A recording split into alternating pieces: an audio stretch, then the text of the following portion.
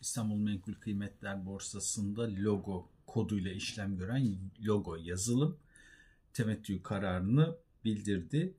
Buna göre bir lot için brüt 4 lira, net 3 lira 60 kuruşluk temettü ödemesi teklif ediliyor. Temettüsüz işlem tarihi 28 Haziran, ödeme tarihi ise 2 Temmuz olarak belirlendi.